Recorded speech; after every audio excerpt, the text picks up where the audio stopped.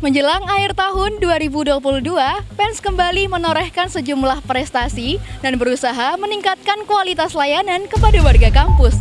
Hal tersebut dibuktikan dalam perolehan juara satu nasional pada NCC 2022. Tak hanya itu, Pens Sky Venture juga dinobatkan sebagai inkubator bisnis kampus terbaik di Surabaya pada ajang Kreatif Community Day 2022. Di lain sisi, Pens menargetkan lolos zona integritas dan wilayah bebas korupsi melalui sosialisasi dan internalisasi bersama Kemendikbudristek. Ketiga informasi tersebut akan kami rangkum selama 60 detik dalam Flash News.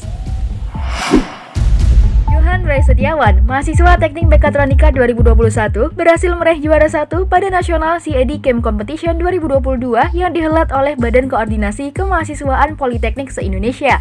Kegiatan tersebut berlangsung di Politeknik Negeri Bandung pada 7 hingga 8 Desember. PENS menggelar sosialisasi dan internalisasi pembangunan zona integritas dan wilayah bebas korupsi. Kegiatan tersebut dilangsungkan di Oakwood Hotel and Residence Surabaya pada 15 Desember dan dihadiri oleh jajaran direksi serta seluruh sivitas akademika PENS. Beberapa petinggi Kemendikbudristek turut hadir sebagai narasumber, seperti Direktorat Jenderal Pendidikan Vokasi dan Inspektur Jenderal Kemendikbudristek. Pada 18 Desember, Penske Venture berhasil kantongi penghargaan juara satu kategori Surabaya Campus Business Incubator Awareness Award dalam kegiatan Creative Community Day 2022. Nominasi ini diumumkan melalui malam penganugerahan di alun-alun kota Surabaya dan diserahkan langsung oleh Wali Kota Surabaya.